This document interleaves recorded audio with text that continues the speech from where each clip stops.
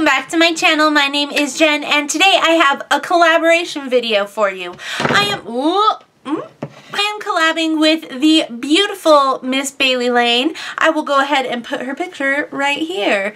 I found Bailey's channel a couple weeks ago and I've really been loving her videos so I had to take the opportunity to ask her to do a collaboration with me especially when I found out that we have the same skin type. yes, dry skin. Sucks. If you haven't seen Bailey's channel before, check it out. She is so cute. I absolutely love her videos. Her reviews are really great quality, which is one of the reasons why I absolutely love her. And she's bubbly, but she's super down to earth. So definitely go ahead and check her out. I will leave her link, her channel link, and also her video link down below in the description bar. So today we are going to be discussing our favorite dry skin products. I have a crap load of products to show you guys of what I really love for my dry skin. I have both skincare, some tools, and some makeup, so let's go ahead and get started. Starting off with skincare, there are a ton of products that I absolutely love for my dry skin. However, because I recently did a skincare video, I will just name a few that I feel are really, really great options for those of us with dry skin. The first thing is something that I have repurchased five or six times.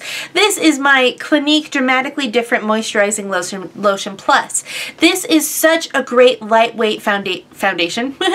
this is such a great lightweight moisturizer. I absolutely, absolutely love this. I use this both in the morning and at night, and it's so great because it's lightweight, but it helps balance out your pH so it can really tell how much moisture your specific skin needs. So not only is this great for dry skin girls, this is also great for combination on oily skin girls. For my dry skin, this really works as a great daily moisturizer. If I want something a little bit more intense, I'll go with the heavier cream at, cream at the nighttime, but this is really my go-to moisturizer. The next product that has been such a fun find for me is the Boscia Exfoliating Peel Gel. It looks like this. When you pump it out, it looks looks like hand sanitizer.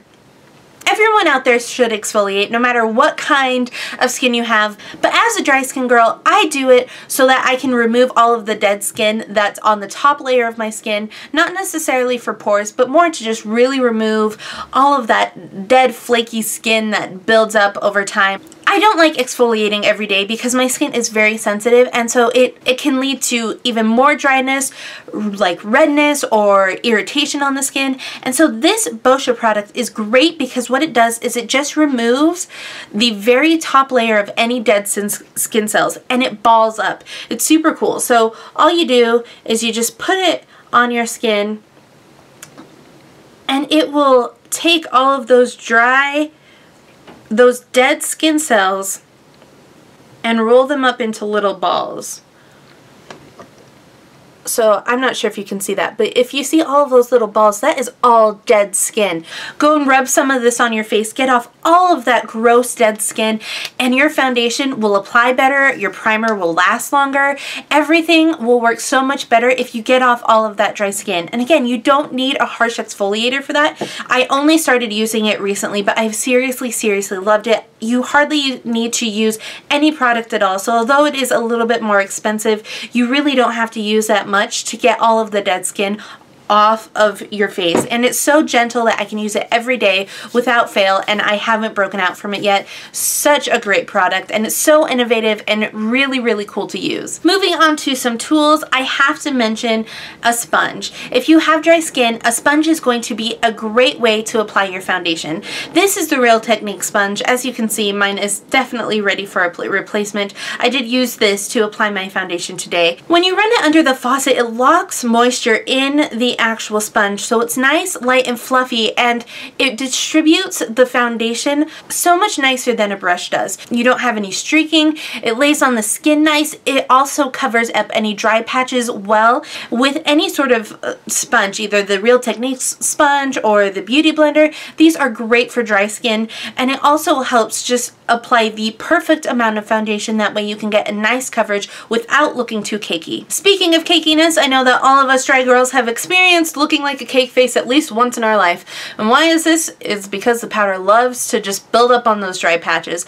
And so I have to mention a setting spray. Setting spray is not only going to help your foundation last longer, it's also going to help if there is any powder buildup on your face. So I chose to share with you guys today the L'Oreal Paris Infallible Pro Spray and Set. This is a newer product to the drugstore, just a couple months old, and it um, sprays a fine mist onto your face. It will help your foundation look less dry, less powdery, and more natural. So for a dry skin girl, this is definitely going to be a great option for you. Moving on to foundation, my absolute favorite glowy foundation has to be the True Match Lumi. This is great. It's from the drugstore. It seriously just feels so great on the skin. When you wear this, it looks like you are a goddess glowing in the sun.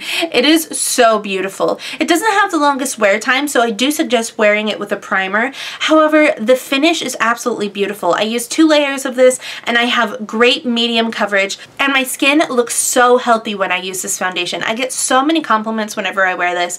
And it's, it's seriously hands down my favorite drugstore foundation. Only thing that I don't like about this foundation is that it is a little bit dark for me. So I do have to add a little bit of white foundation, but that's absolutely no problem.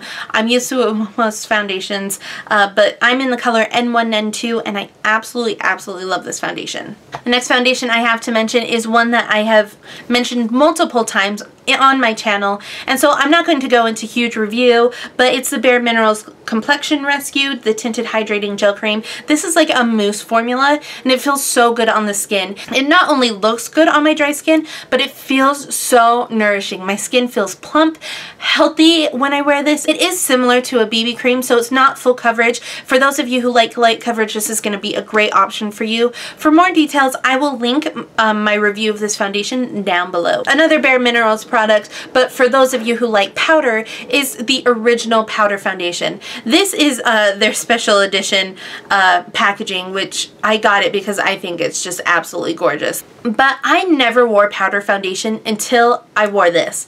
And I absolutely, absolutely adore the original Bare Minerals original foundation.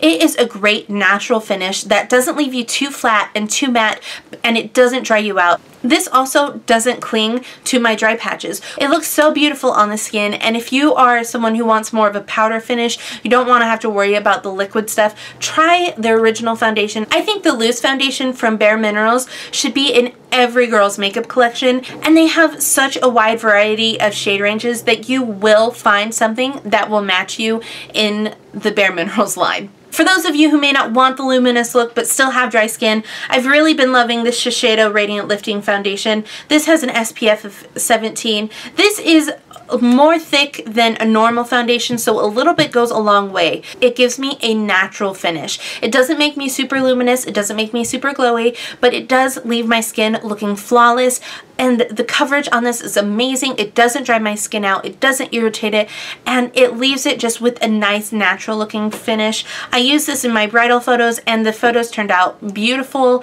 and it's just this, this is so good. Shiseido. Moving on to concealer, I have to mention my Dream Lumi concealer. If you have very, very dry under eyes, this is going to be an awesome product for you because it's not drying at all it, and it doesn't cling to any fine lines you can just put it in any areas where you may need a little bit of extra coverage. The coverage isn't amazing. It's not a full coverage concealer, but it does add that little bit of healthy glow. This is also one of the few concealers at the drugstore that can match my, match me, match my skin color because I am so fair. So that is a huge plus for me.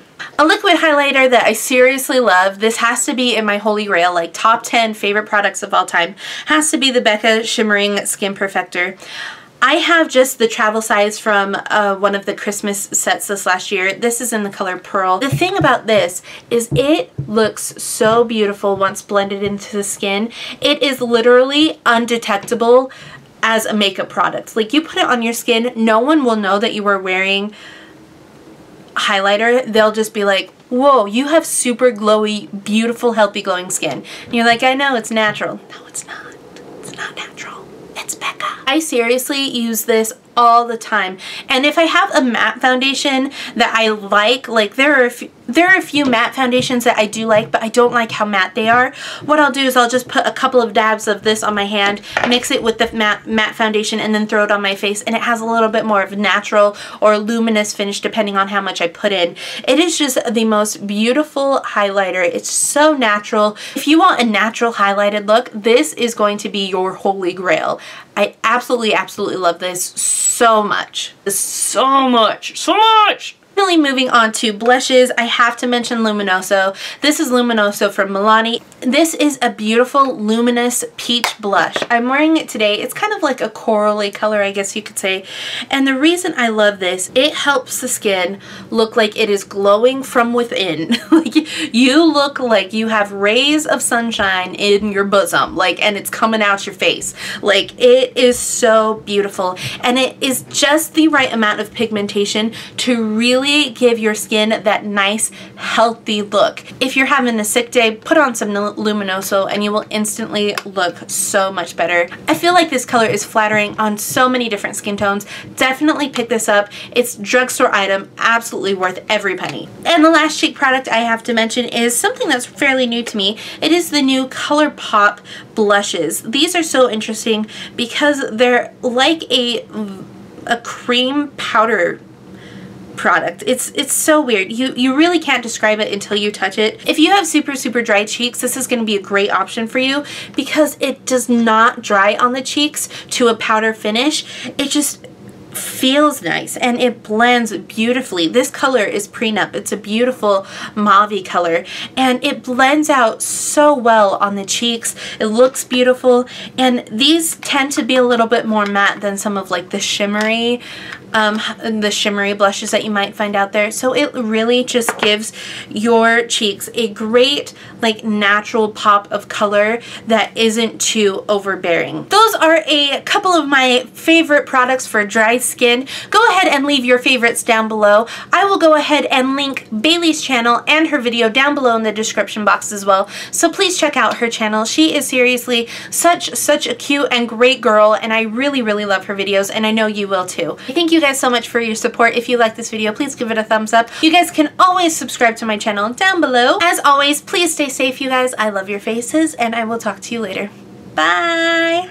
I also recently got new glasses, so they are new to the scene as well. Uh, let me know what you guys think. I've always been a little afraid of wearing glasses in film because you can see the light reflection. So I hope that doesn't bother, bother you. I hope that doesn't bother you guys too much. I didn't really like my old glasses, so I'm really excited to have glasses that I like so I can film with them, and it's to be so great! I've been wearing these ones a lot, and the packaging is just beautiful. So, so great, and I've been loving them.